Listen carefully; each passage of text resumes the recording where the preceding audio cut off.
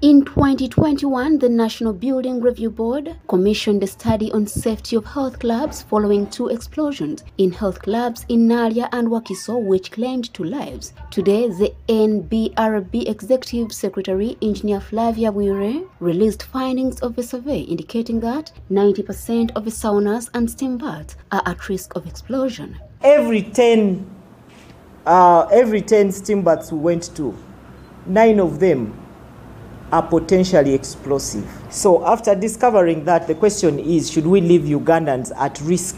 The study was done on 21 health clubs, which were selected randomly, and it was established that 90% use firewood as a source of fuel whose temperature and pressure is not regulated. Most of these facilities were neither designed nor installed by qualified engineers. The ones that use electricity come with their inherent protective system.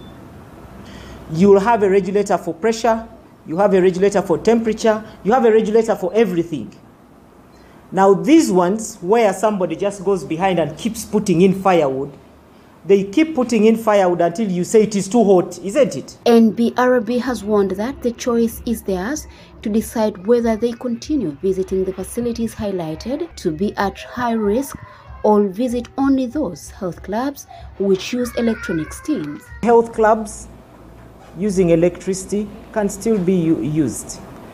And uh, these ones can also be made to meet the requirements. In this regard, the National Building Review Board has come up with guidelines for design, installation, operation and maintenance of biomass-fired sauna, steam and hot water generation equipment for health clubs. Pressure is not regulated. For as long as you have a hard-working young man adding adding firewood behind this other side, the temperature goes up and then the, the pressure also shoots.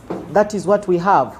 So we expect temperature regulation, we expect pressure regulation, we expect timers. Building committees have been asked to inspect the state of the health clubs in their jurisdictions to identify those that are working below standards, while health club owners have also been asked to engage professionals to assess the integrity of their installations. Committees are going to to assess and tell us how many how many saunas they have in their places, which ones are dangerously explosive, potentially explosive. We expect them to also receive applications from the owners of these uh, of these saunas. Story compiled by Fred Kajubi for the news at Parliament.